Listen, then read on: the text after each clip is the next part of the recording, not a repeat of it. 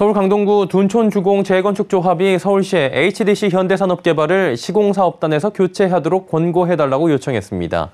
둔촌주공 현장에서 HDC 현산의 작업하 중 관리 부실로 시공 중인 건물 지하 PC 구조체 심한 균열과 바닥 처짐 현상이 발견됐다는 게 조합 측이 교체를 요구한 주요 이유입니다. 또 조합 측은 서울시에 공문을 보내 정밀 안전 점검을 할 수 있도록 시공단의 행정 지도를 내려줄 것을 요청했습니다.